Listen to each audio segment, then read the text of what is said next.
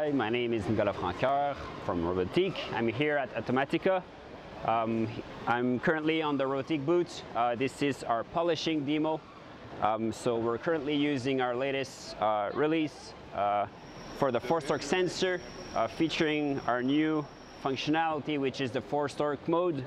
Uh, so we're actually simulating a polishing application uh, using our new FT mode node um, so we're now able to apply a constant force on a surface um, and we're using this uh, right now to uh, polish this uh, wooden piece over here um, to initiate the robot movement. We are also using our path node uh, which was already uh, available.